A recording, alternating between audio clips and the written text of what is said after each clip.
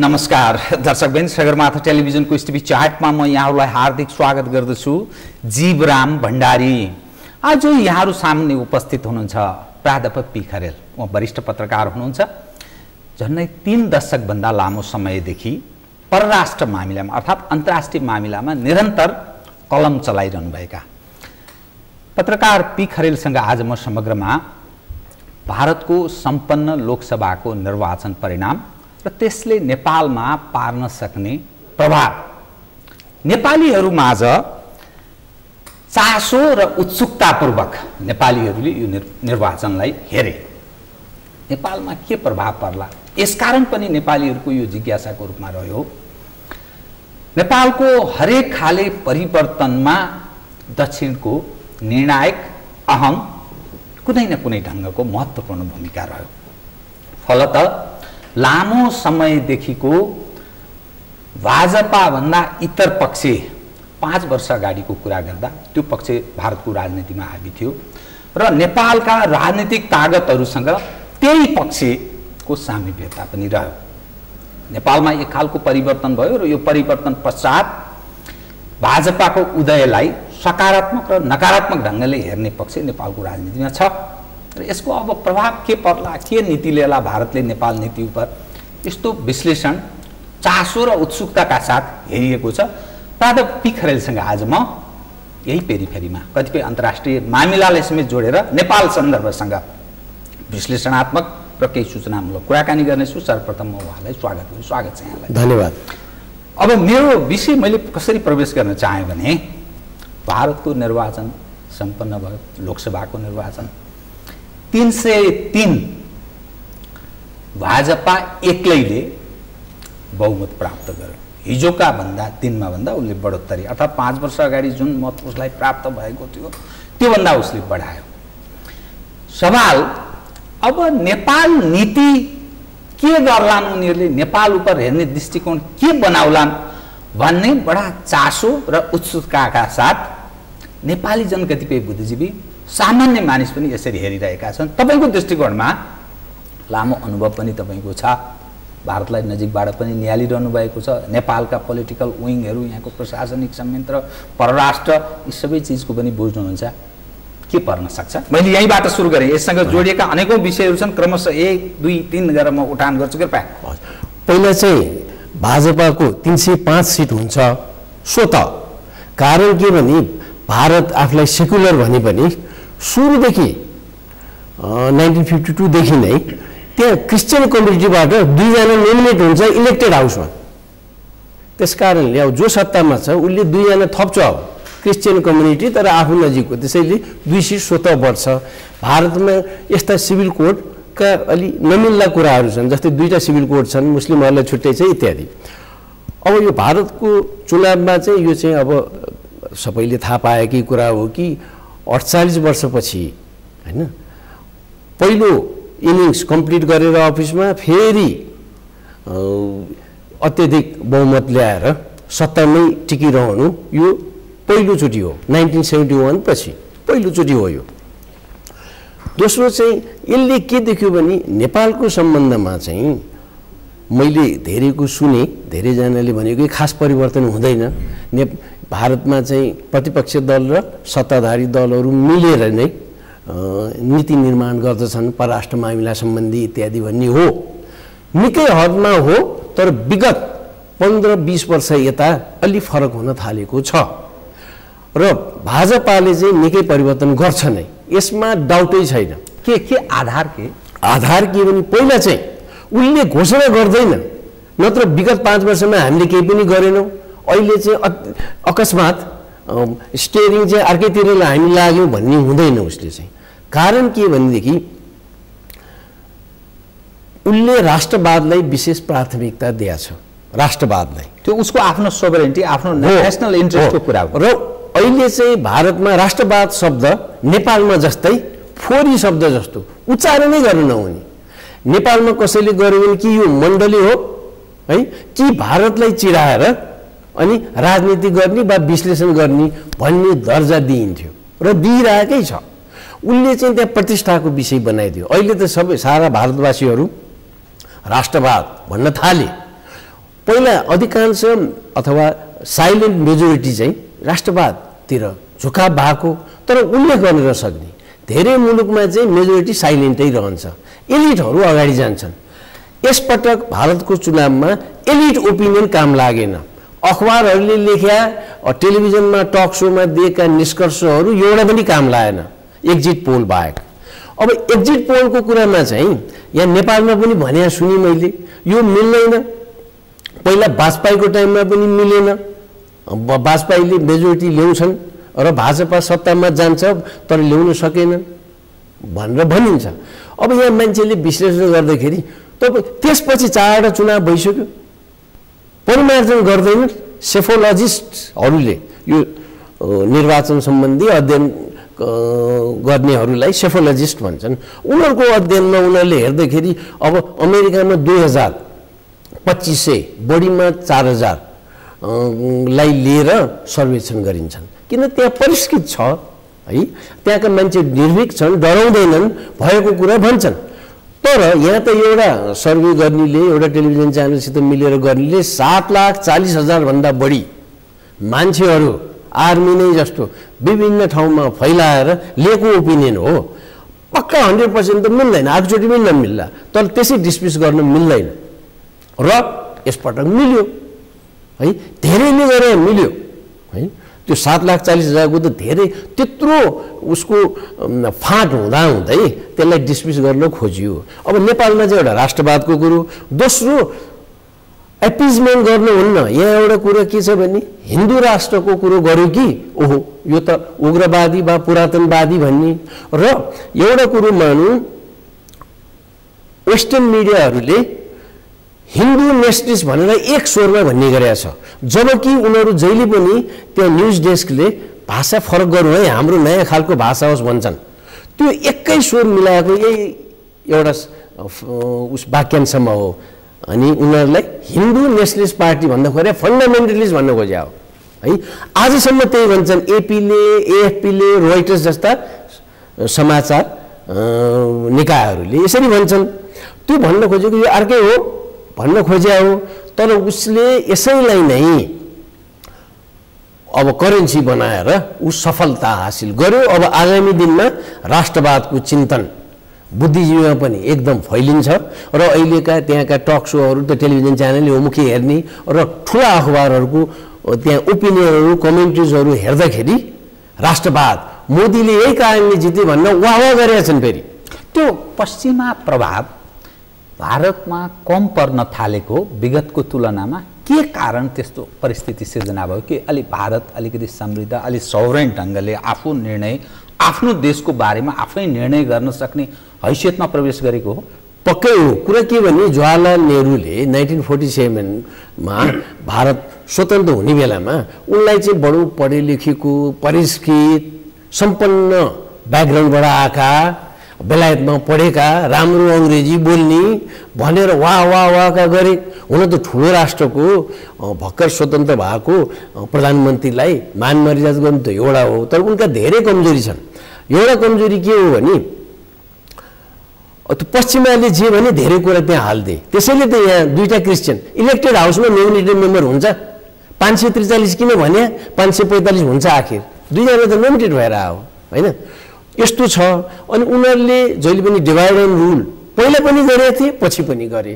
त्यही कारणले नै दुईवटा सिभिल कोड मुसलमानहरूको उहाँ चारवटा बिहा गरिने हुन्छ भन्ने छ नि त। अनि कतिले चाहिँ मुसलमान बन्ने अनि केही समयपछि फेरि अनि अब त्यो सम्बन्ध विच्छेद गर्यो अनि फेरि आफ्नै मूल धर्ममा आउने। यस्तो गरे।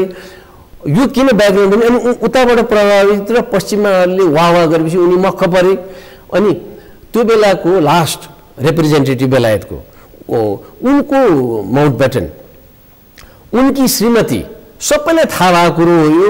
अनुसन्धानकर्ताहरूले भनिसकेका छ भारतवर्षमा नि मानिसकेका छन्। उनीसित उनको लसपस थियो। त्यो लसपसको कारणले उनले कान फुक्थिन् श्रीमानको कुरो त्यहाँ फुक्थिन्। र by the way Lord Mountbatten चाहिँ त्यो बेलासम्म गे भइसकेका थिए। त्यो बेलामा त्यो बेलामा गे भन्ने शब्द आइसकेका थिएन होला होमोसेक्सुअल भन्ने थियो। त्यो प्रमाणित छ त्यो चाहिँ। होइन? भनेपछि उनी आफ्नो श्रीमती अन्ततिर लगाए पनि उनले केही भन्दैन थिए यसमा चाहिँ। त त्यहाँबाट प्रभावित भएर वाह वाह लिन खोजे तर सकेनन् उनले चाहिँ ठुलो प्रभाव पार्नलाई। तर अब ठुलो राष्ट्र अनि अहिलेसम्म आयो तर अहिले थचिलो पर्ने स्थिति आयो नि त पछिल्ला वर्षहरूमा। अब इन्दिरा गान्धी इन्दिरा गान्धीको टाइममा चाहिँ पश्चिममा प्रभाव त्यतिको थिएन। तर सोभियत युनियनको विश्वको पहिलो कम्युनिस्ट अधिराज्य सोभियत युनियनसित बिस वर्षे सन्धि गरी नरनारायणको अगुवाले बेसिकली त्यो डिफेन्स अलायन्स हो। नाइन्टिन सेभेन्टी वानमा अनि पूर्व पाकिस्तान पूर्व पाकिस्तान त्यसलाई यो विखण्डन गर्नको लागि पाकिस्तानबाट उनले उन रुससित यो एग्रिमेन्ट गरिन्। बिस वर्षे त्यसपछि अ, पूर्व पाकिस्तानमा हानिन् अनि त्यहाँ निकै ज्याजती पनि भयो पाकिस्तानी ट्रुप्सहरूबाट तर भएको भन्दा दसौँ दफा प्रचार प्रसार गरी यस्तो पो उस्तो पो भनेर गरे पनि अनि बङ्गलादेश स्वतन्त्र बन्न गयो। उनीहरूलाई चाहिँ पाकिस्तान टोक्राउँदा डिफेन्सिभ हिसाबले उनीहरूलाई फाइदा हुने भयो तर पश्चिमाको हालिमुली थिएन। अनि उनले जहिले पनि हेर्नु ठुलो कन्सपिरेसी छ भने कसलाई? सोभियत युनियन होइन इस्टर्न युरोप होइन। भनेको त पश्चिममा अमेरिका र अरूलाई भने हो। उनी पछि जब राजीव गान्धी आए राजीव गान्धी बाहिरै पढे उनको बेसिकली एजुकेसन प्लस टू बाहेक केही पनि होइन। अनि एयर एयर पाइलट होइन प्लस टू पछि एयर पाइलट गरे होइन? एयर पाइलट भए राजनीतिमा लाग्ने पनि होइन। अब त्यस्तै स्थिति भएको बेलामा उनी आए एउटा न एउटा डाइनेस्टिक पोलिटिक्स इन्डियामा गर्नुपर्छ भन्ने इन्दिरा गान्धी पनि नेहरूको छोरी भएर अनि ने इन्दिरा गान्धीले पनि आफ्नो कान्छो छोरो मरेपछि सञ्जय गान्धी दुर्घटनामा बितेपछि राजीव गान्धीलाई उठाइन् अनि राजीव गान्धी पनि अकस्मात प्रधानमन्त्री बन्न पुगे। भारतको यो पृष्ठभूमि हामी हेर्नुपर्छ। अनि उनी पुगेपछि त्यहाँ चाहिँ रेडियोले दिनै दिएन। है त्यो समाचार टेलिभिजनले पनि दिएन। के कारणले भने राजीव गान्धी मलाई लाग्छ कलकत्तातिर बङ्गालतिर गएको जस्तो लाग्छ। उनी दिल्लीबाट बाहिर थिए। उनको हत्या भएको समाचार कहीँबाट आएनन् अनि राजीव गान्धीलाई खबर गयो गएपछि राजीव गान्धीले पनि आफ्नो आमा बितेको पुष्टि गर्नलाई आफूलाई आफ्ना पार्टीका द सदस्यहरूले भनिसकेका थिए। तै पनि पुष्टि गर्न बिबिसी सुन्यो रेडियो। अनि हो रहेछ भनेर प्लेनबाट आएपछि अनि समाचार पनि भयो उनी प्रधानमन्त्री पनि बने। यस्तो अनि राजीव गान्धीको सर्कल यो जगदीश टाइटल यस्तै यस्तै शशि थारूर र वै- विदेशी श्रीमती हुनेहरूको एउटा जमात बनाएको थिए उनले चाहिँ। अनि त्यो जमातको इन्फ्लुएन्समा उनी जाने। अरूले पनि वाह वाह तिमी त बरु डेमोक्रेट त्यहाँ अरू चाहिँ कि कम्युनिस्ट छन्? है कि पहिला जनसङ्घवालाहरू अब पछि गएर भाजपा जस्ता छन् भनिदियो ऊ त्यसैमा मख परे। अनि इन्दिरा गान्धी मरेपछि इन्दिरा गान्धीले ल्याएको सिटभन्दा बढी ल्याए के कारणले भने अस्वाभाविक वातावरण। किन इन्दिरा गान्धी बित्ने बित्तिकै दुई महिनामै चुनाव गरायो त्यो फाइदा लिउँ भनेर। सहानुभूतिको मत पनि। हो। अनि अस्सी प्रतिशतभन्दा बढी सिट थियो। तर पाँच वर्षपछि चालिस प्रतिशत सिट पनि आउन मुस्किल पर्यो। अनि माइनोरिटीमा पुगे पाँचै वर्षमा त्यत्रो आफ्नो शक्ति भएको किन गयो भनेदेखि ऊ चाहिँ वा वा पश्चिमाको लिने भने तर रुसलाई त्यागिसकेका थिएनन्। अनि एउटा चाहिँ सोनिया गान्धीको चाहिँ पश्चिमा प्रभाव हो नै उनी क्याथोलिक हुन्। अनि क्याथोलिकहरू अलिक विशेष कडा खालका हुन्छन् भन्ने छ। अनि त्यो प्रभावबाट बिस्तार उनले त्यो इन्फ्लुएन्स पार्थिन् पश्चिमाको भन्ने व्यापक रूपमा भएको। अब बिजेपीलाई जहिले पनि नेसनलिस्ट हिन्दू नेसनलिस्ट भन्ने अनि अहिले पनि आइरहेछ। यहाँ चाहिँ जहिले पनि गुजरातमा मान्छे मऱ्यो कि उसैलाई दोष दिने। त्यस्तो छ उसैलाई भने नरेन्द्र मोदीलाई। यो परिप्रेक्ष्यमा यिनीहरूले चाहिँ गएको चुनावमा दुई दुई हजार चौधको चुनावमा पनि मेजोरिटी ल्याए। त्यो संजोग हो कि क्या हो भनेर दुष्प्रचार प्रशस्त भयो। एलिटहरूले यो अब खत्तम भयो मेजोरिटी ल्याउन मुस्किल छ भन्ने थियो। हामी यहाँ बस्दा नि मुस्किल हो कि क्या हो भने जस्तो भयो। आखिर पढ्ने त तिनीहरूकै कुराहरू हुन्। यस्तो किसिमको मत त रहेछ नि त उनीमा। भन्दाखेरि अब पश्चिमा प्रभाव अर्को पाँच वर्षमा दस वर्ष भयो र उनको अपोजिसन उनलाई टक्कर दिने खालको व्यक्तित्व नै इमर्ज भएन। अब राहुल गान्धीको एउटा चाहिँ के हो भने उनको चाहिँ अपरिपक्वता भनौँ। मनमोहन सिंह जो प्रधानमन्त्री दुईचोटि भए चिट्ठा पर्या हुन् उनी चुनावै लडे होइन। है? चुनाव लडेर के भने आसामबाट अप्पर हाउसमा आएको। त्यस्तो मान्छेले अनडेमोक्रेटिक प्र्याक्टिस हो नि एउटा स्पिरिट भनेको के हो त? भन्दा चुनेर हुनुपर्छ। होइन? डाइरेक्ट इलेक्सनमा। आउनुपर्छ भने किन उहाँ आसामलाई रिप्रेजेन्ट गरी प्रधानमन्त्री भए उनले सिट त्यहाँ तातो बनाइरहन् अनि रा अनि राहुल गान्धीले अब म हुन्छु भने बित्तिकै फुत्त जानु पर्थ्यो। त्यस्तो बेइज्जती किसिमको पद लिएर बस्या हुन्। चुपो लाएर नम्र भएर बोल्ने त नेपालमा नि कौडौँ छन् नि छैनन् र? हामी ओहो सक्षम त भन्दैनौँ नि। नम्र बोल्दैमा नम्र किसिमले बोल्दैमा। अनि राहुल गान्धीलाई के पर्यो भनेदेखि होइन म चाहिँ मेरै बलबुताले आएको हुँ। त्यसैले केही राज्यहरू महत्त्वपूर्ण राज्यहरूको स्टेट इलेक्सन्समा मेरो दलले जित्यो भने अनि म त्यो सत्ता सम्हाल्छु केन्द्रमा भन्ने उनको विचार पहिलो टर्म गयो दोस्रो टर्ममा पनि त्यो गर्छु भन्दा भन्दै दसैँ वर्ष गयो। आजको मितिमा गए उनको व्यक्तित्व किन बन्थ्यो भने पूर्व प्रधानमन्त्री राहुल गान्धी पूर्व प्रधानमन्त्री राहुल गान्धी भन्थ्यो गयो। यो जाँदाखेरि अनि उनको बोली तरिका शिष्टता केही पनि छैन नि त्यो चाहिँ। यसपालि नै बोलेको। अब मोदीलाई अर्थ बरु असक्षम भने हुन्छ जे भने हुन्छ तर चौकीदार चोर भन्ने शब्द समेत प्रयोग गर्यो। पटक पटक यस्ता खालका क्याम्पेन शैलीले पनि घाटा भयो। अब हुँदा हुँदा मेजोरिटी त नआउने छँदैछ। है। अब दुई सय बहत्तरबाट जाँदा जाँदा हुन त उनीहरूले मेजोरिटी। बिचमा अलि त्यस्तै स्थितिमा मात्र ल्याए हो त्यहाँ अहिले लामो हामी यसमा चाहिँ हामी प्रवेश गर्दैनौँ। नेपाल सन्दर्भसँग हो। तर अब पश्चिममा गयो। पश्चिममा प्रभाव गयो र दस वर्षसम्म आउँदाखेरि अर्को विकल्प आउला तर यो नै हो अब। अब राष्ट्रवासी त कोही हच्किँदैन। पूर्वीय दर्शनलाई विशेष मान्यता यिनीहरूले दिया हुन्छ अब म यहाँसँग नि यसैसँग नेपालसँग जोडिने विषय हिन्दू धर्म पूर्वीय संस्कृति त्यसलाई भारतीय जनताले अङ्गीकार ग्रहण गरे। नेपालको सन्दर्भमा कुरा गर्दा नेपालको हरेक राजनीतिक परिवर्तनमा अहम निर्णायक र महत्त्वपूर्ण भूमिका र हस्तक्षेपकारी भन्ने मैले भाषा प्रयोग गरेँ।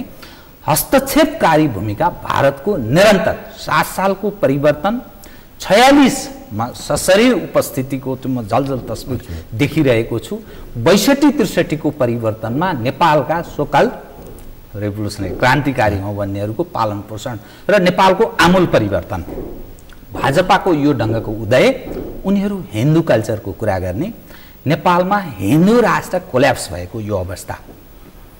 सिसिएम अर्थात् क्रिस्चियन कम्युनिस्ट र मुस्लिम जो फन्डामेन्टलिस्ट जो मुस्लिमहरू छ त्यस उप उनीहरू अत्यन्त कठोर ढङ्गले प्रस्तुत हुनुपर्छ भन्ने जो दृष्टिकोण राख्छन् नेपालको सन्दर्भमा कुरा गर्दा यथास्थितिमा कम्युनिस्टको विकल्पको रूपमा प्रमुख प्रतिपक्ष पनि कसिएर उभिन नसकेको।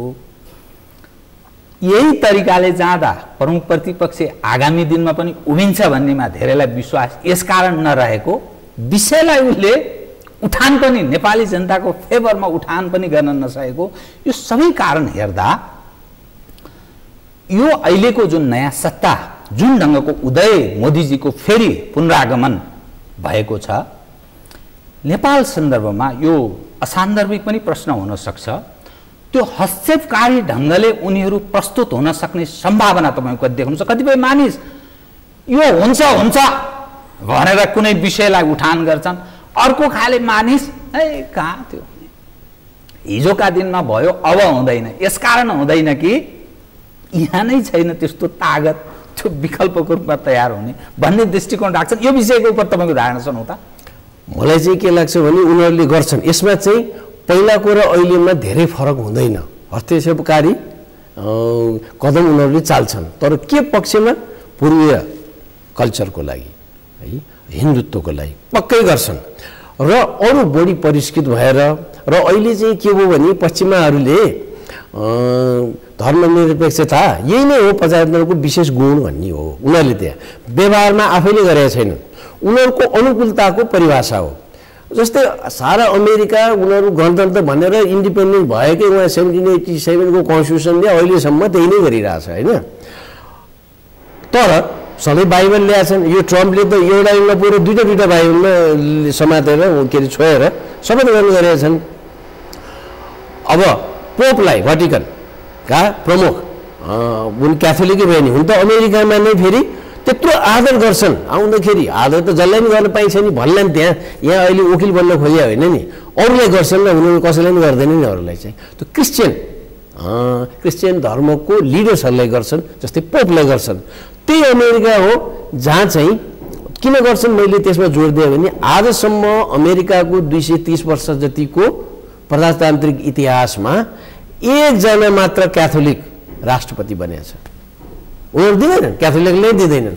तै पनि यो क्रिस्चियन हो क्रिस्चियन गुरु हुन् भनेर उनलाई त्यत्रो स्वागत गरे हुन्छ नि एउटा। बेलायतै हो पार्लिमेन्ट्री सिस्टमको जननी भनेको ठाउँमा त्यहाँको चर्चको प्रमुख बेलायतकी महारानी। उनी हो के सेकुलर त भएन युरोपमा कैयौँ छन् त्यस्ता यहाँ चाहिँ ओरेन्ठेलाहरू पश्चिमाले जे पनि अहिले फेसन त्यही नै हो। उतैले भनेपछि उनले परिभाषा गरेको भ्याल्युज यहाँ के छ भने जुडियो क्रिस्चियन भ्याल्युजलाई वर्ल्ड भ्याल्युज ग्लोबल भ्याल्युज भन्ने। अनि त्यो भ्याल्युज हामी पछाडि पर्नुहुन्न जमाना भइ यस्तो भइसक्यो भन्ने। पिर नभएका भाँडो जस्तो हामी नेपाली भयौँ। आफ्नो मूल्य र मान्यता अरूले छोडेका छन् र मूल्य र मान्यता त्यसरी नै गएको छन् नि त्यसरी जाँदाखेरि हामी नगएको हाम्रो हैसियत कम हुन गयो।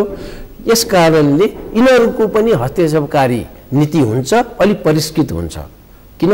त्यहाँ पश्चिमाहरूले ख्याउ ख्याउ गर्छन् तर उनीहरू जान्छन् र नेपालका राजनीतिक दलहरू यहाँले अघि संक्षिप्तमा भने जस्तै सात सालदेखि अहिलेसम्म त्यहाँकै भारतीय सरकारकै हालिमुली हुँदै गएको हो अब पनि हुन्छ र तराईमा यहाँ सर्वे विभिन्नले गरेका छन्।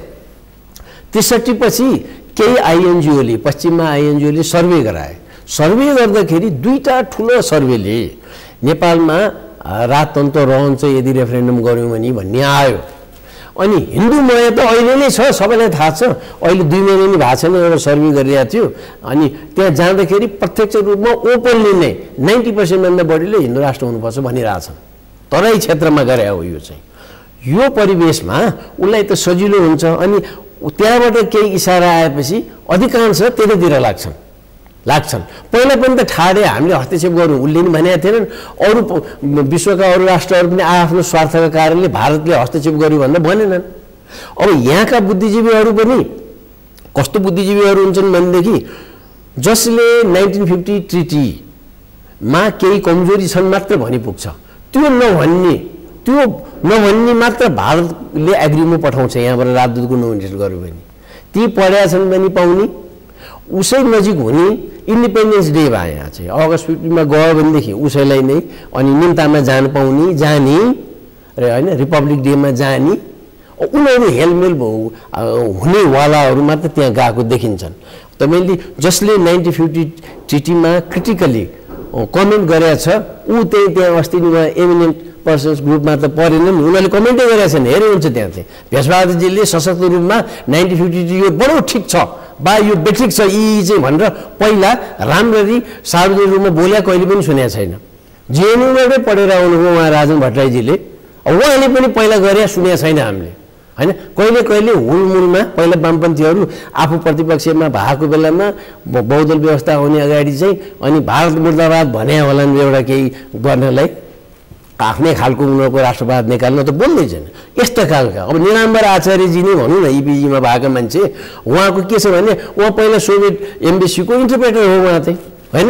अनि सबै उहाँ हो मार्क्सिस्ट फिलोसफीको कुरा गरेर हिँडिरहने हो। पछि चाहिँ छयालिस सालमा आइपुग्नु हो।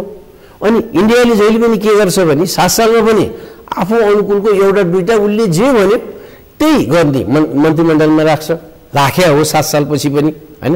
जस्तै भद्रकाली मिसै हो नि। अनि छयालिस सालको अन्तिम सरकारमा पनि आफ्नो मान्छे त्यसै गरी राखेको थियो। अनि भारत र सोभियत युनियनको त विशेष सम्बन्ध राजीव गान्धीले त विशेष विशेष सम्बन्ध भन्ने गरेका थियो। India and Soviet Union have special special relationship भनेर भन्ने गरेका थियो एकदम सार्वजनिक रूपमा।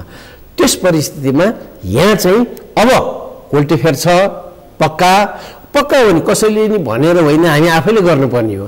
कोल्टे फेर्छ फेर्छ तर नेपालको सन्दर्भमा कुरा गर्दा जुन पोलिटिकल विङ नेपालको राजनीतिमा प्रिभेल गरेको जस्तो देखिन्छ नि त्यो पक्षको सम्बन्ध र सम्पर्क भारतको हिजोको संस्थापन पक्ष त्यहाँको प्रशासन जासुसी संयन्त्रसँग उनीहरूको बढ्ता हिमचिम सम्पर्क संवाद उठबस अहिलेको जुन रुलर पक्ष छ पोलिटिकल विङ योसँग त्यति छैन।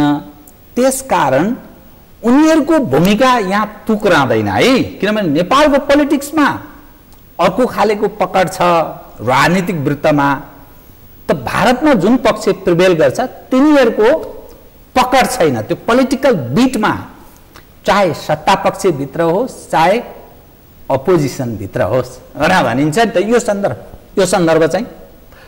यस्तो छ। नेपालमा त सरकार परिवर्तन हुने बित्तिकै को को राख्ने हो कहाँ कहाँ इन्टेलिजेन्स एजेन्सीमा भनेर गर्छन् भने भारतका त्यस्ता नेताहरूले चेन्जफेन्ज गर्दैनन् र आफ्नो अनुकूलको त्यो अपरिपक्व कुराहरू। यहाँ मैले गरे त सुनेको छु अरूले। त्यो हुँदैन। दोस्रो कुरो यत्रो वर्षपछि आएको माइनोरिटी गभर्मेन्ट कोलिसन गभर्मेन्ट भएको पनि एउटा कुरा हुन्थ्यो। पुरा पाँच वर्ष खाएर खारिएर आएको सरकार अब फेरि पाँच वर्ष खाने कम्तीमा भन्ने सरकारले पहिले नै उसले आफ्नो सम्बन्धीहरूमा त्यो लिडरसिपका कुराहरू त्यो पक्कै चेन्ज गरिसकेका हुन्छ। त्यसमा शङ्कै हुँदैन। यसमा हो मनमोहन सिंहको टाइममा चाहिँ मनमोहन सिंह आफै फ्यान्तुङ किनभने उहाँ एलके आडवाणीले पार्लियामेन्टले भनेको थिए weakest prime minister in India's history भनेको थिए। अरूले पनि त्यही उनलाई संज्ञा दिए उनको केही पनि थिएनन् अनि त्यस कारणले आफू कमजोर भएपछि श्याम शरणहरू जस्ताले केही ठाउँ पाए।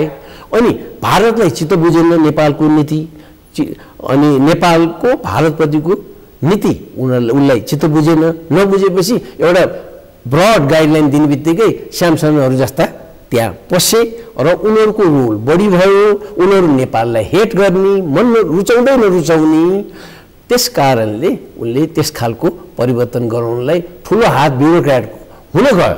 है पछि पूर्व राजा ज्ञानेन्द्र दिल्ली पटक पटक जाँदाखेरि अहिले त निकै हो दिल्ली नपुगेको पटक पटक जाँदाखेरि कम्तीमा दुई पटक।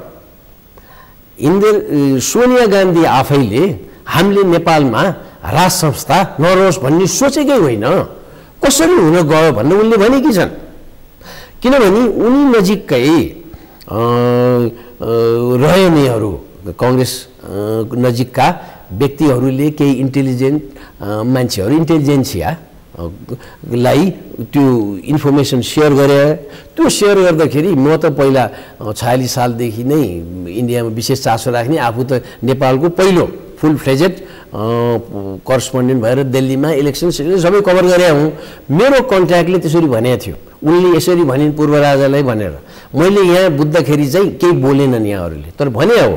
त्यसपछि उनले त्यो भनेका कारणले होला मनमोहन सिंह आफैले पनि त्यही भने। मनमोहन सिंह त एकपटक भेटे हो मैले थाहा पाएसम्म उनले पनि पाश्चाताप गरे। भन्दाखेरि जानेर वा नजानेर उनीहरूले जे गरे पाश्चाताप चाहिँ भयो। उनीहरूलाई के छ भनेदेखि नेपालमा नेपालको राज संस्था वा नेपालीहरूको माया मोहले होइन। न चिनको विशेष माया मोह छ नेपालीहरूलाई र नेपालप्रति न भारतकै छ। उनीहरू आफू देशभक्त देशभक्त। हुन्। अनि त्यस कारणले उनीहरूले हेर्दाखेरि नेपालमा अहिले हेरे नेपालमा एक विश्वसनीय सन्तुलित संस्था को रहेछ त? कुन रहेछ त? भन्दाखेरि उनीहरूको निष्कर्ष के हुन गयो भने राज संस्थै रहेछ भन्ने भयो। राज संस्थै हुने भएपछि चिनको पनि यही निष्कर्ष हो। र अब चिन चाहिँ हिजोको जस्तो होइन। कोही मान्छे चाहिँ सानो चाराना छानाको जग्गामा घर बनाएर छ भने चिन्ता धेरै हुँदैन। ल पाँच रोपनी छ त्यसमा घर बनाउनुहोस् भनेपछि त्यहाँ झार आउँछ सफा गर्नु पर्यो बगैँचे फुल टाइम राख्नु पर्यो मेन्टेन गर्न गाह्रो हुन्छ नि त्यस्तै चुनौती बढी हुन्छ भन्नु खोजेँ मैले। चिन चाहिँ अर्को दशकमा अमेरिकालाई उछिन्छ इकोनोमिक माइट हुन्छ। खालि उसले चाहिँ विदेशमा खास सेना राखेका छैनन् आफ्नै। केही चाहिँ आफ्नो इन्डस्ट्रियल एस्टेट बचाउनलाई कहीँ कहीँ थोरै राखेका छ केही सय। अमेरिकाको त अब मिडल इस्टमै कैयौँ छ वेस्ट एसिया भन्छु म त कैयौँ छन्। पेसिफिकमा छ जापानमा सेकेन्ड वर्ल्ड वारदेखि अहिलेसम्म छ कोरियामा नाइन्टिन फिफ्टी टूदेखि अहिलेसम्म छ थाइल्यान्डमा अहिलेसम्म छ राखे राखेकै छन्। अब त्यस्तो अवस्था उसले त राखेका छैन। त ऊ एग्रेसिभ भएर जाँदैन। इकोनोमी आफ्नो क्लाउड बचाउनलाई उसले यो गर्छ। र एउटा के छ भने चिनको चाहिँ अनि चिनले भारतलाई सी जिङपिङले कम्तीमा तिन पटक। मोदीलाई के भनिसक्यो भने तिमीलाई चाहिँ अब यति याद गर्नु सेकुलरिजमको नामले धर्मनिरपेक्षताको नामले तिमीहरूलाई चाहिँ विखण्डनतिर लाउँछन् डोर्याउँछन्। उनीहरूको इन्ट्रेस्ट त्यो हुन्छ। एक दोस्रो चाहिँ जातीयताको मुद्दा उठायो भने भोलि तिमीकै आउँछ हामीले नै स्टडी गरे हो एकचालिसवटा राज्य तिमी कहाँ हुन्छन् भन्ने हाम्रो स्टडीले उहिले बनाएको भनेर भनिसकेका छन्। र मोदी कन्भिन्स छन् यसमा चाहिँ। यो पक्का हो। यो निष्कर्षपछि नेपालमा चाहिँ हामीले के गर्न सक्छौँ के प्रभाव पार्न सक्छौँ भन्दाखेरि राज संस्था एउटा सशक्त विकल्प हो भन्ने उनीहरू निष्कर्षमा पुगिसकेका छन्। गर्छन् गर्दैनन् उनीहरूले आफ्नो प्रभाव उनीहरू नै जानन् त्यो गरिसकेका छ। अनि यसमा फाइनलाइज भएको चाहिँ गएको असोजमा हो। असोजमा गरे हो भदक असोजमा गरे हो ब्याङ्ककमा पनि गरे श्रीलङ्कामा पनि गरे इन्डियामा बम्बेमा पनि गरे उनीहरूले चाहिँ। यो यतातिर उनीहरूसँग एउटा सशक्त विकल्पको रूपमा भनेर। अनि इन्डियाले पनि के हेरिसक्यो भने एउटा उदाहरण अफ्रिकामा विगत दसौँ वर्षदेखि सारा विश्वको जति लगानी छ विश्व भने त पश्चिमा राष्ट्र र अरू केही त हुन् नि उनीहरूको जति लगानी छ त्योभन्दा बढी चिनको लगानी छ। अब यो चिनको लगानी भएपछि भोलि उसले भारतलाई नै दुःख दिनु पऱ्यो भने अफ्रिकन त्यहाँ शासकहरूलाई तिमी जहाँबाट इम्पोर्ट गरे पनि एक्सपोर्ट गरे पनि भारतबाट नगर भनेपछि उसले त लुङलुङ कामिहाल्छ उसको त। उसले त्यसरी प्रयोग गर्छ। अरूले स्याङ्सन लाउने यहाँ लाउने भने हुन्छ नि त। मानेन भने ट्रम्पले जस्तो गरे हुँदैन नि। ट्रम्पले त उहाँ भेनेजुवालामा त्यसै एउटा उठाइदियो दस बिस हजार मान्छे लिएर ल अब तँलाई नै राष्ट्रपति त्यहाँको भनिदियो उसले चाहिँ। त्यस्तो त्यस्तो जमाना आउला भने उनीहरू तर्सिया छन्। अनि यहाँ चाहिँ के आयो भने नेपालले महत्त्व अवस्थाले पायो धेरै ठुलो पाउने हुँदै हुन्छ। चिनको भूसतहसित जोडिएका चौधवटा छिमेकी राष्ट्र छन्। त्यसमा सबैभन्दा कमजोर उसले ठानेको नेपाल। भुटान पनि होइन। है नर्थ कोरिया पनि होइन। कजाकिस्तान पनि होइन। अफगानिस्तान पनि होइन। पाकिस्तान त छैन उनीहरूको धेरै निकट सम्बन्ध छ। म्यानमार त झन् हुँदै भएन साह्रै राम्रो सम्बन्ध छ।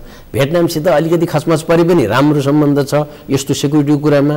नेपालमा चाहिँ आइएनजिओको पुरा बास यहाँ भएर उनीहरूले जे एजेन्डा उठाउँछन् त्यही नै। भोलि चाहिँ नेपालले स्वतन्त्र हुने कि नहुने फेडरेसनको नाम लिएर भारतसित फेडरेसन गरौँ हामी। फेडरेसनको एउटा भारत र नेपालको फेडरेसन। एउटा स्थापना गरौँ भने पनि एउटा समूह आउँछ आउँछ। नेपालमा ओपिनियन मेकरहरू अरू त्यसरी प्रिभेल गरिरहेको छ। अर्थात् हाम्रो पकड पहुँच कमजोर भइरहेको एकदम छ। कम। यससँग जोडिएको यो अलिक तपाईँ अन्तर्राष्ट्रिय मामिलामा राम्रो जानकारी राख्ने र भारतको सन्दर्भमा पनि तपाईँ त्यहाँ बसेर रिपोर्टिङ गरेको राम्रो बुझेको पनि व्यक्ति भएको हुनाले नेपाल सन्दर्भ कुरा गर्दा त्यो नेहरू डक्ट्रिनको कुरा गर्छन्। वल्लभभाइ पटेलको नीतिको पनि उनी के चाहन्थे नेपालमा? त्यो पनि मानिस कुरा गर्छन्। अनि यो पछिल्लो समयमा फुरेको नेपाली समाजको फुच्चे श्याम शरण डक्ट्रिन जो नेपालको पोलिटिक्समा प्रिभेल गर्यो र नेपालका लिडरहरू त्यो श्याम शरण डक्ट्रिनलाई चाहिँ एउटा भागवत गीता जस्तो ठान्छन् नि।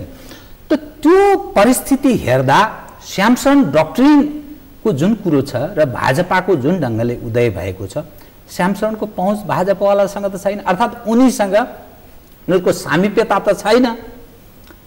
अब नेपालको सन्दर्भसँग जोड्दा यो अवस्था उनीहरू कतै हामीमा जो हस्तक्षेपकारी हस्तक्षेपकारी जो भूमिकाको हामी विगतको इतिहास कोट्याउँदा हाम्रो सार्वभौमिकतासँग किनभने अन्तत्वगत्व नेपाली त हुनुपर्छ देश नेपाल त महत्त्वको आफ्नो देशको महत्त्व त त्यही देशको नागरिकलाई मात्रै थाहा हुन्छ। यस सवालमा यहाँका जो पोलिटिकल विङ र विकल्पका कुरा गर्ने पक्षहरू कसरी प्रस्तुत हुन सक्लान् भन्ने तपाईँ आकलन गर्नुहुन्छ? पहिला चाहिँ नेहरूले चाहिँ नेपालमा हस्तक्षेप डाइरेक्टली भने नेपाल खानलाई चाहिँ उनी रुचाएन। के कारण भने उनको अन्तर्राष्ट्रिय छविमा आँच आउला भनेर ठाडै नेपाल भारतमा गाभ्न उनले हिचकिचाए। नत्र वल्लभभाइ पटेलले चाहिँ खोजेकै हो उनले काश्मीर लिँदाखेरि अब काश्मीरमा अधिकांश मुसलमानहरू राजा हिन्दू अनि तिमी कि उसले खान्छ कि हामीले खान्छौँ? तिमी के गर्छौ भन्दाखेरि बल्ल बल्ल अहिलेका करण सिंहका पिताजीले हरि सिंह। हरि सिंह उनले चाहिँ ल भइगयो भनेर बल्ल बल्ल दुःख मनाउ गरेर सही गरेर भारतसित गाविने भने। अनि त्यो कागजात लिएर प्लेनबाट दिल्ली आएपछि नेहरूको अघिल्तिर त्यो ठ्याममा राखेर the bastard has finally signed भने उनले बास्टर्ड भनेर। किन उसले मानेका थिएनन्? स्वतन्त्र राख्नुपर्छ काश्मीर भनेर। त्यो बास्टर्ड भने चाहिँ मैले भने मैले भने त यहाँ नेपालीले एक आपसमा त हामी विश्वासै गर्दैनौँ। विदेशीले भन्यो भने मात्र। एकदम नाम चलेका है डो ल्यापियर डोमिनिक यिनीहरूले लेखेका छन् किताब फ्रिडम एट मिड नाइट भनेर। उनीहरूले अनुसन्धान गरेर धेरैजनासित अन्तर्वार्ता लिएर यो कुरा राखेका हुन्। त्यस्तो हो। अनि इन्दिरा गान्धीले त्यही हदमा त्यो बेलासम्म त नेपाल नन लाइन मेम्बर भइसकेको थियो फेरि। फाउन्डिङ मेम्बरै हो नेपाल त है।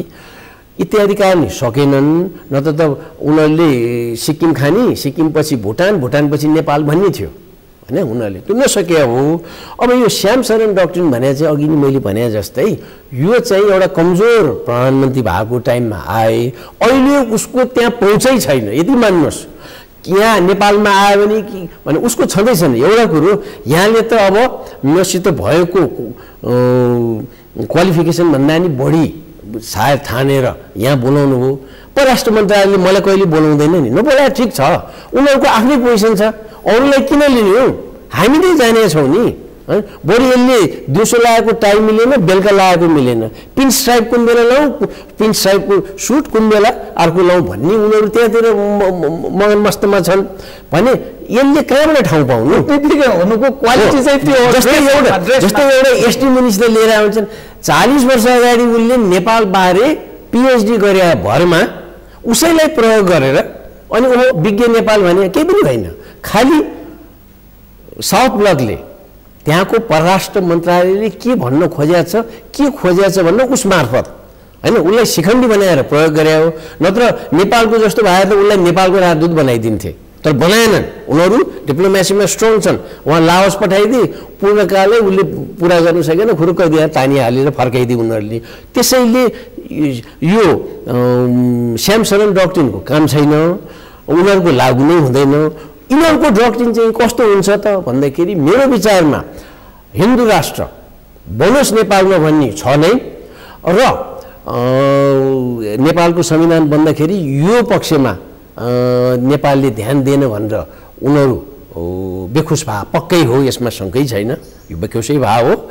र अब त्यो प्रयत्न गर्छन् र यो प्रयत्न गर्नु विश्व मानचरित्रमा स्वाभाविक मानि हुन्छ। ठुलाले सानालाई केही न केही हस्तक्षेप गर्छ यसैमा मैले जोडेँ। मैले सिसिएमको पनि कुरा गरेँ। हजुर। कम्युनिस्ट क्रिस्चियन र मुसलमान पर उनीहरू अलिक कठोर हुन्छन् भन्ने अर्थात् मान्यता पनि त्यो राख्छन्। गतिविधिले पनि त्यस्तो देखाउँछ। अब- अनि नेपालमा स्वयं भारतमा चाहिँ कम्युनिस्टहरू सफाया नै भएको अवस्था विश्व सन्दर्भ पनि त्यस्तो छ। यो जो डेमोक्रेटिक जो प्र्याक्टिस हामी संसारमा जुन देख्छौँ नेपाली जन पनि जो गरिरहेका छन् लामो समयदेखि तिस वर्षदेखि यो अलिकति अप्ठ्यारो अप्ठ्यारो दिशातर्फ उन्मुख भए जस्तो देखिन्छ। बेलायत पनि अलिक सङ्कटग्रस्त स्थितिबाट गुज्रेको छ। अमेरिकामा नन पोलिटिकल मानिस प्रिभेल गरेको स्थिति छ एउटा व्यापारी। फ्रान्सको पनि अवस्था त्यस्तै छ। धेरै जस्तो देशमा र भारतमा चाहिँ आफूलाई नेसनलिस्ट ठान्ने पूर्वीय कल्चरको एउटा साँचो मानेमा यसलाई चाहिँ प्रिभेल गर्नुपर्छ। है अब हाम्रो आफ्नोपन हो भन्ने पक्ष प्रिभेल भएको भारतको त्यस्तो पोलिटिक्स छ।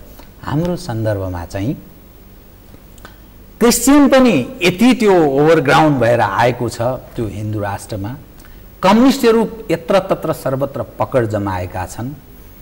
अनि प्रमुख प्रतिपक्ष भन्ने त्यो अहिलेको भारतको पक्षसँग त्यति नजिक छैन कि सोसलिस्टहरूसँग थिए कि पुरानो सत्ता पक्षसँग थिए।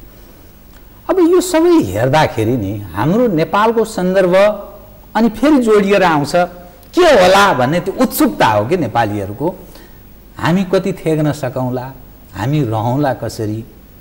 यो विषयले सधैँ घचघच्याइरहन्छ यो विषयलाई कसरी हेर्ने? मुस्लिमहरूको कुरामा भारतमा जस्तो होइन। नेपालमा अधिकांश मुस्लिमहरू राष्ट्रियताको भावले ओतप्रोतै छन् यो चाहिँ। न त सबलाई त्यसरी त्यस्तो किसिमको पगडी बुझाउन गाह्रो हुन्थ्यो। छन् नै। यस्तो समस्या नेपालमा खासै छैन नै। मुस्लिमहरूले केही त्यस किसिमको दुष्प्रभाव पार्दैनन् उनीहरू किन? उनीहरू राष्ट्रियताको भावना प्रशस्त छ।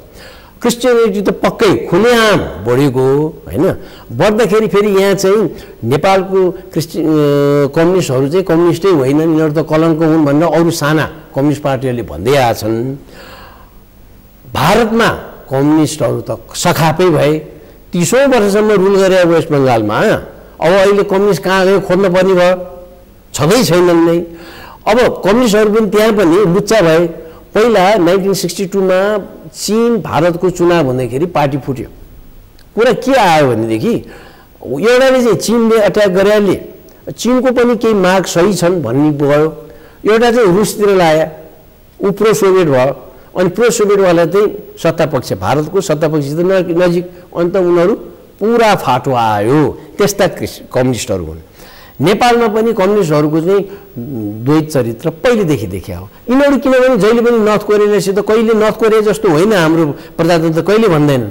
अधिकांश ठुला पहिलाका एमालेका नेताहरू उहाँ नर्थ कोरिया पुगेर आएको छ नि सधैँ। गरेर यहाँ पनि एमबेसीको पार्टी सार्टीमा डान्स गर्ने सँगै यहाँ हातमा हात हाते साङ्लो बनाएर जाने छन् होइन यिनीहरू त्यस्तो हो। हामी चाहिँ वान पार्टी डिक्टेटरसिप होइन जस्तै चिन त वान पार्टी डिक्टेटरसिप हो नि त।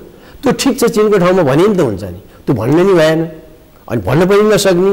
अनि त्यसपछि वर्ल्ड ब्याङ्कले गरेको सिफारिस अनुसार यहाँको आर्थिक नीति बनाउने सत्ताहरू चाहे कम् कङ्ग्रेस हुन् चाहे कम्युनिस्ट हुन् के को सोसिस्ट हुनु के को कम्युनिस्ट हुनु। वर्ल्ड ब्याङ्क कहिल्यै चिडिया छैन यिनीहरूसित? भनेपछि उसलाई चित्त बुझिएको छ। वर्ल्ड ब्याङ्क भनेको के हो? क्यापिटलिस्ट वर्ल्डको क्यापिटलको प्रभुत्व भएको भने त्यहाँको जहिले पनि अमेरिकाकै प्रभुत्व हुने हो भने यिनीहरू कम्युनिस्ट चाहिँ होइनन्। अब तै पनि केही न केही यिनीहरूले सोसियलिस्टको नाम सोसियलिजमको नाममा कम्युनिस्ट ओरिएन्टेड सोसियलिजमको नाममा केही विध्वंस मचाउन सक्छन् त्यो पोटेन्सियल हुन्छ विभिन्न छिद्रहरू त्यहाँ आउँछन् भनेर उनीहरूलाई सकारात्मक रूपमा त हेर्दै हेर्दैन। चाहे कङ्ग्रेस आओस् त्यहाँ चाहे भाजपाले गर्दै गर्दैन। ओपनली त केही भन्दै भन्दैनन्। अनि अमेरिकाकै दृष्टि हेरौँ न हामी भारतमै। ओ अखबारहरूमा न्युयोर्क टाइम्स वासिङटन पोस्टमै आइसकेका छ। सात आठ महिनाभन्दा अगाडि आएको थियो रिपोर्ट। ट्रम्पले चाहिँ उहाँ हुन त उहाँ मोदी सुरुमा प्रधानमन्त्री हुने बित्तिकै अमेरिकाले निम्ता दिएर त्यहाँको जोइन्ट हाउसमा कङ्ग्रेस भनौँ न दुइटै।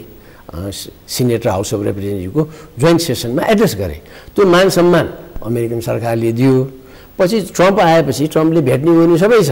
भेटे पनि उहाँ चाहिँ मोदीको यस्तो छ अङ्ग्रेजी उसको टोन यस्तो छ उसको जेस्चर्स यस्तो छ हात यस्तो गर्छ मुख यस्तो बनाउँछ भनेर उसको क्याबिनेट मिटिङमा उसले कुरा गरिरहेछ एकपटक होइन दुईपटक होइन पटक पटक यो त मोदीले बोले यस्तो भयो त्यस्तो कुरा नगर भनेर भन्दै रहेछन् भने चाहिँ। भनेपछि इन्डियाले कहाँ राखेर छ त? हेरी हुन्छ नि त हामी त जसो आउँदाखेरि त होइन?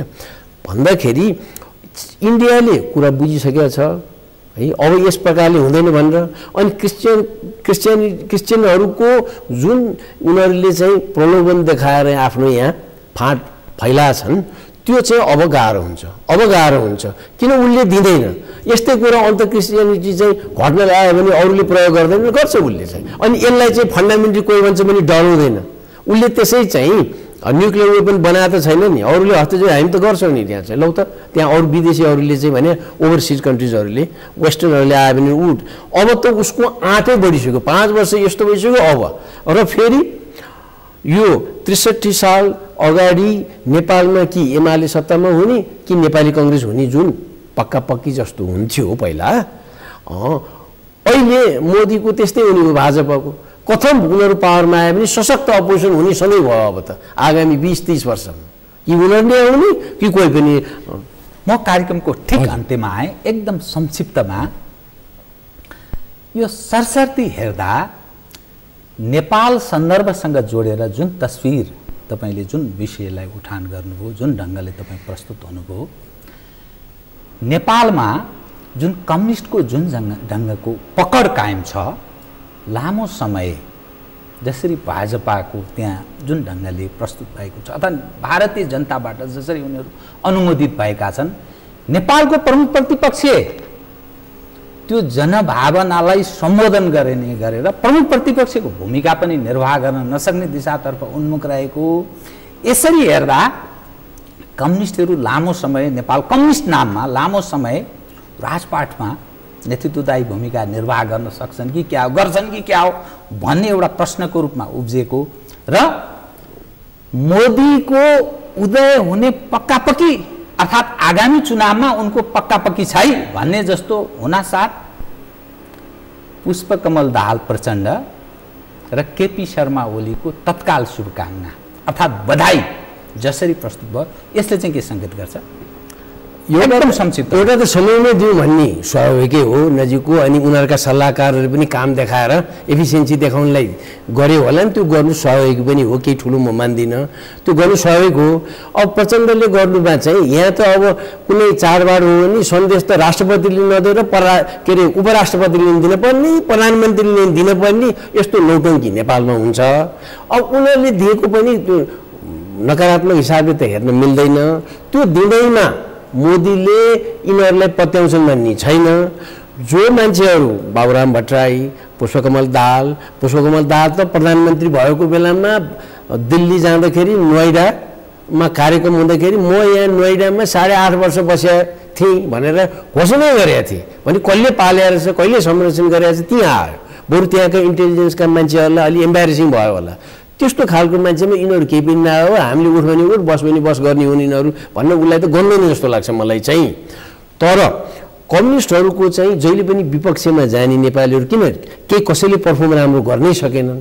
अनि सत्तामा जाने कङ्ग्रेस भयो अधिकांश उम्, अवसरहरूमा त्यस कारणले कम्युनिस्ट बने। तर आगामी पाँच वर्षपछि यो माहौल चेन्ज हुन्छ र निकट भविष्यमै हामी त यसरी चिन्ता गर्छौँ भने कङ्ग्रेसमा पनि होला। अनि उनीहरूले आफ्नो हैसियतको मूल्याङ्कन गरेर हामी अब अहिले घट्यौँ हाम्रो शक्ति घट्यो। त्यस कारणले अरू समविचार हुनेहरू समूहहरूसित भने मधेसवादी दलहरू कमल थापाजीहरूको दलहरू उहाँ पशुपति शमशेर उहाँहरू सबै मिलेर उहाँहरूले चाहिँ एउटा मोर्चा जस्तो गर्नुहुन्छ कि जस्तो लाग्छ। त्यसलाई चाहिँ भारतले पनि सकारात्मक किसिमले हेर्छ। मेरो विचारमा अनि टक्कर त्यस बेला देखिने सम्भावना छ। हस्। कार्यक्रममा आइदिनु भयो। कतिपय विषय म अरू जोड्न चाहन्थेँ तर समयले यतिसम्म साथ दियो धन्यवाद छ। थ्याङ्क यू आदरणीय दर्शकबिन उहाँ हुनुहुन्थ्यो प्राध्यापक पी खरेल वरिष्ठ पत्रकार अन्तर्राष्ट्रिय मामिलामा तिन दशकभन्दा लामो समयदेखि कलम चलाइरहनुभएका वरिष्ठ पत्रकार। म लगायत मेरो सम्पूर्ण युनिटलाई कार्यक्रमबाट बिदा दिनुहोस् तर सगरमाथा टेलिभिजन हेर्दै रहनुहोला। नमस्कार।